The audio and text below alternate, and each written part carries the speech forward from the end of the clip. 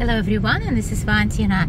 Right now we will be passing mention of the Citadel fund Ken Griffin. Ken Griffin is making a lot of news lately in Palm Beach.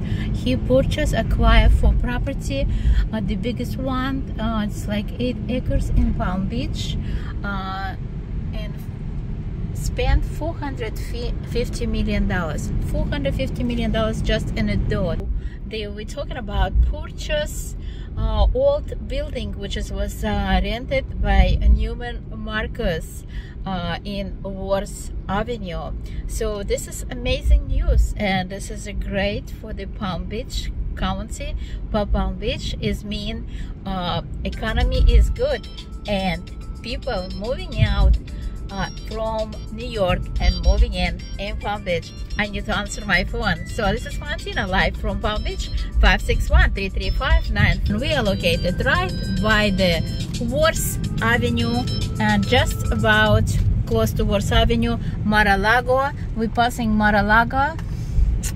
We have here some, uh, finally bridge will be almost finished. We can see it right now progress this is a service entrance for Mar-a-Lago.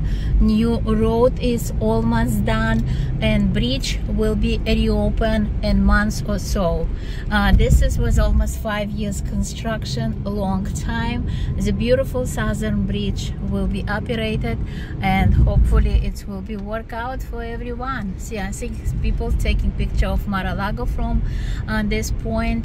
Uh, road construction and Valentina Luxury Properties International and waived my appointment in West Palm Beach. I wish everybody found a fantastical day and um, happy uh, summertime. Valentina, live from Palm Beach.